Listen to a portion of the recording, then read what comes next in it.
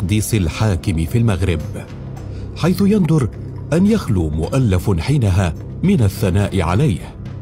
حتى قال فيه ابن خلدون بأنه كان أعلى بني إدريس ملكا. بينما يصفه روض القرطاس بقوله كان يحيى هذا أعلى بني إدريس قدرا وسيطا وأطيبهم ذكرا وأقواهم سلطانا. وكان فقيها حافظا للحديث ذا فصاحة وبيان ولسان ومع ذلك كان بطلا شجاعا حازما.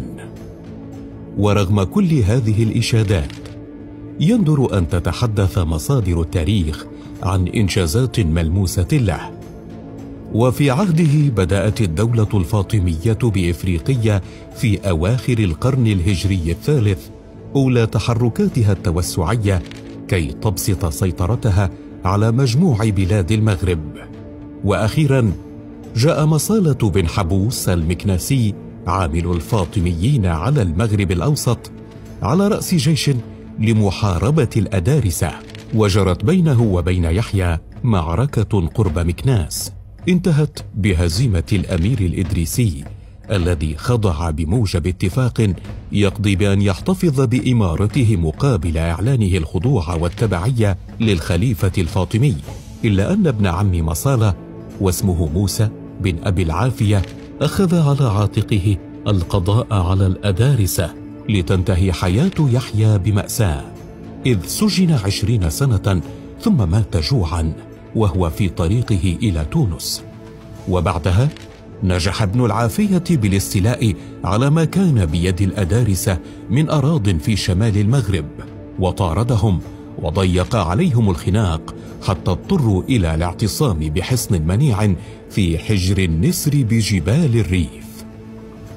والواقع أن المأساة التي عاشها الأدارسة في تلك الآونة تعود إلى الصراع الكبير الذي نشب بين الخلافتين الفاطمية بافريقيه والأموية بالأندلس.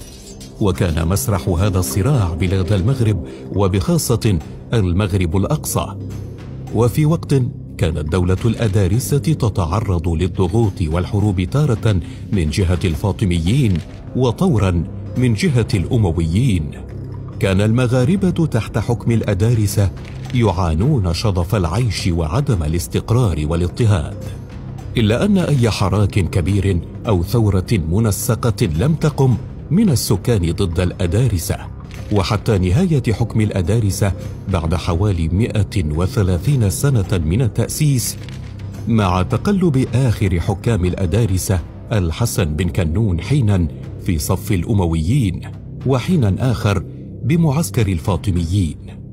وأخيرا بعد لجوئه للأندلس اضطر للهرب مجددا بعد خلاف مع الأمويين ليكون تحت حماية الفاطميين في مصر حيث جهز من هناك جيشا ليستعيد المغرب إلا أنه قتل على الطريق في عملية اغتيال جعلت أيام الأدارسة بالمغرب تنتهي بموت الحسن بن كنون آخر ملوكهم.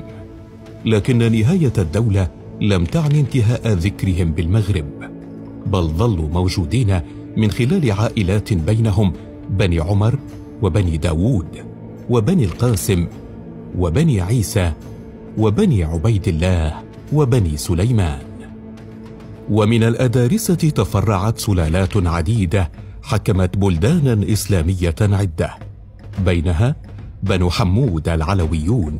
الذين حكموا في الجزيرة وملقا الأندلسيتين كما تولوا لبعض الوقت أمور الخلافة في قرطبة.